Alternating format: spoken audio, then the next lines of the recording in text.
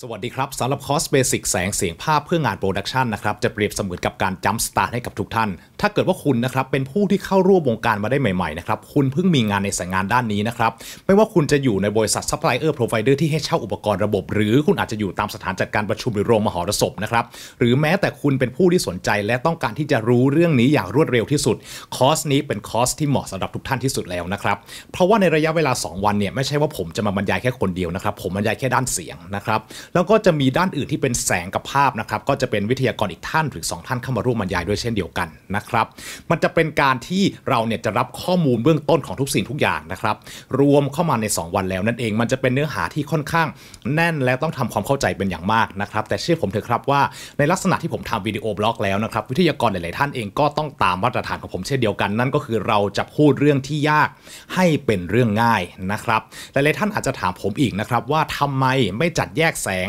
เสียงภาพเป็นคอร์สคอร์สคอร์สไป ผมไม่อยากจะมาจ่ายเงินเพื่อเรียนทั้ง 3 ส่วนนี้นะครับผมต้องขอบอกเลยนะครับว่าสิ่งเหล่านี้เนี่ยมันเป็นสิ่งที่ต้องเหมารวมกันนะครับเวลาที่คุณเข้ามาอยู่ในวงการ production เนี่ยถึงแม้ว่าคุณอาจจะทำงานด้านเฉพาะแบบเสียงหรือแสงหรือภาพอย่างใดอย่างหนึ่งนะครับแต่เวลาที่คุณต้องคุยกันข้ามฝ่ายหรือคุยกันข้ามทีมเนี่ยคุณจำเป็นต้องรู้ข้อมูลเบื้องต้น และสิ่งที่คุณกำลังจะนำเสนอนั่นเองนะครับในคอร์สนี้จะมีการพูดถึงศัพท์เทคนิคนะครับเท่าที่จำเป็นเท่านั้น